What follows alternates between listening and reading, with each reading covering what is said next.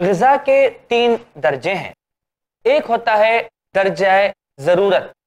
यानी जितनी आपकी ज़रूरत है, आपने खा लिया। अब इसके बाद जो दर्जा होता है, वो दर्जा किफ़ायत होती है। यानी आपने थोड़ा जितना ज़रूरत था, उससे कुछ ज़्यादा खा लिया। यहाँ पर भी आपने नहीं रोका, और खा रहे हैं तो इसको कहते हैं दर्जाए ज्यादती।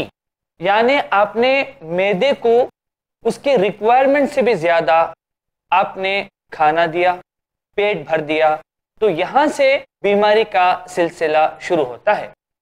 1500 कैलोरीज हमारे बॉडी के अंदर बर्न होती हैं। कोई एक्सरसाइज ज़्यादा करता है या जिम जाता है या स्विमिंग करता है तो उससे कुछ ज़्यादा कैलोरीज नेचुरल तौर पर बर्न होती हैं। मगर हमारा अगर खाने का शेड्यूल देखें तो इसके अंदर तकरीबन पाँच हज़ार से छः हज़ार की कैलोरीज हम एक दिन में खाते हैं।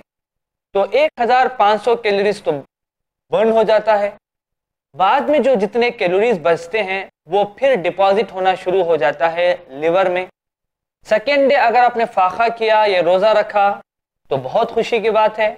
मगर सेकेंड डे फिर उठ के वही बेतदाली फिर से खाना, फिर कुछ बर्न हुआ, फिर जमा हुआ इस तरह से जो है बेतदाली से खाते खाते खाते लिवर के अंदर फैट होना जमा हो जाता है, जिसको फैटी लिवर कहते हैं।